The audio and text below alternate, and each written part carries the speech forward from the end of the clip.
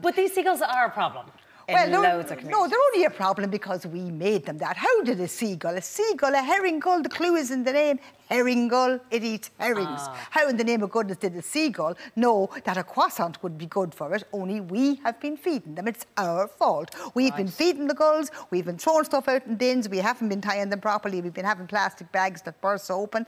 And seagulls are scavenging birds. They feed on offal and when trawlers throw off the offal and mm. dead things they, by the sea, that's what they eat. So if they're getting a handy meal from humans, why wouldn't they come along and do it? We've had landfill sites, dumps, bags, everywhere there was huge populations explosions of gulls. It's the availability of food that causes the numbers to increase. We're giving them food either advertently by actually feeding them, throwing them the last chips and throwing your bag of chips away and letting them finish it off, or inadvertently by not being tidy. So why wouldn't the seagulls work? The survival of the fittest, and, then, and we're just raging that they're more fit than we are. They're surviving better than So we are. So why this plan to give them a contraceptive pill, and how is that going to even work? It's not a plan. Somebody said it. Just because somebody said it would be a good idea does not mean it's happening. It was a county councillor who said they have given contraceptive pills to pigeons in Britain.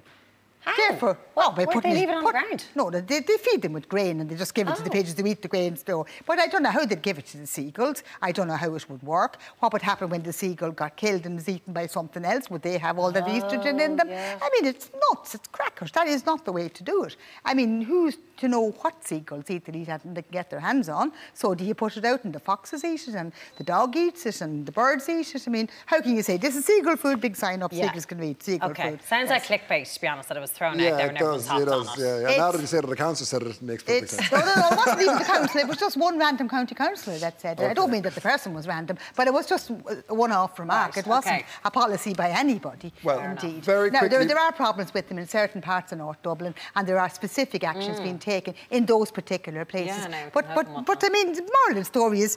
I mean, don't be leaving 10 tonnes of rubbish on the beach And and then wondering why, the, why there's seagulls. Yeah. You know, we can't be having it both ways. I'm on the side of the seagull, even if it did eat.